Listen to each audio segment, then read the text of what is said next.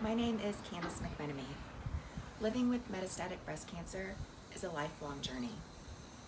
That's why I chose City of Hope. I knew that I would be receiving the absolute best care. For more stories like mine, follow us here.